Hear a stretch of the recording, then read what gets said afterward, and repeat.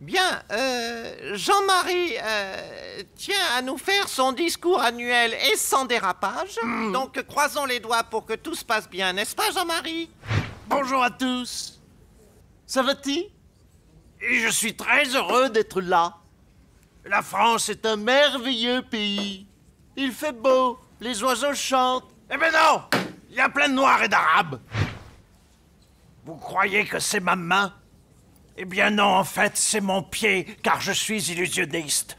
J'avance à tâtons au milieu de la foule, et là, je me dis, c'est un carnaval?